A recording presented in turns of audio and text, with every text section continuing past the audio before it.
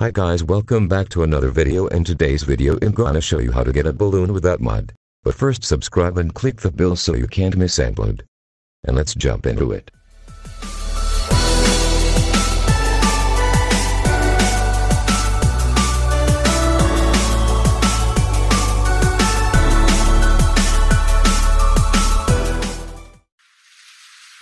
But first open the Education Edition.